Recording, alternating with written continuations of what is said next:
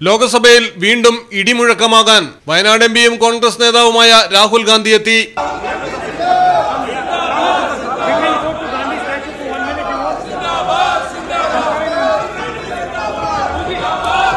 അപകീർത്തി കേസിലെ ശിക്ഷ സുപ്രീം കോടതി സ്റ്റേ ചെയ്തതിനെ തുടർന്ന് ലോക്സഭാ സെക്രട്ടേറിയറ്റ് രാവിലെ രാഹുലിന്റെ പാർലമെന്റ് അംഗത്വം പുനഃസ്ഥാപിച്ച് വിജ്ഞാപനം ഇറക്കുകയായിരുന്നു. പ്രതിപക്ഷ സഖ്യമായ ഇന്ത്യയിലെ എം പിമാർ രാഹുലിനെ പാർലമെന്റ് കവാടത്തിൽ സ്വാഗതം ചെയ്തു. സ്വീകരിക്കാനെത്തിയ മറ്റ് എം പിമാർക്കൊപ്പം സോണിയാഗാന്ധിയും ഉണ്ടായിരുന്നു. പാർലമെന്റ് അങ്കണത്തിലെ ഗാന്ധി പ്രതിമയ്ക്ക് മുന്നിൽ പ്രണാമം അർപ്പിച്ച ശേഷമാണ് രാഹുൽ പാർലമെന്റിനകത്തേക്ക് പ്രവേശിച്ചത്.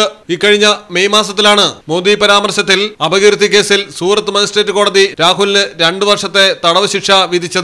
ഈ വിധി വെള്ളിയാഴ്ച സുപ്രീം കോടതി സ്റ്റേ ചെയ്യുകയായിരുന്നു. നൂറ്റി മുപ്പത്തിനാല് ദിവസത്തിന് ശേഷമാണ് രാഹുലിന് ലോക്സഭാ അംഗത്വം തിരിച്ചു കിട്ടുന്നത്. News desk Malayalam television. മരുന്നുകളിലെ ഈ വാചകം നിങ്ങൾ ശ്രദ്ധിച്ചിട്ടുണ്ടോ? കേരളത്തിലെ താപനില മുപ്പത്തിരണ്ട് ഡിഗ്രി സെൽഷ്യസിന് മുകളിൽ തുടരുമ്പോൾ റിലീഫിന്റെ ശീതീകരിച്ച ഷോറൂമുകളിൽ താപനില നിയന്ത്രിച്ച് മരുന്നുകളുടെ ഗുണനിലവാരം ഉറപ്പുവരുത്തുന്നു.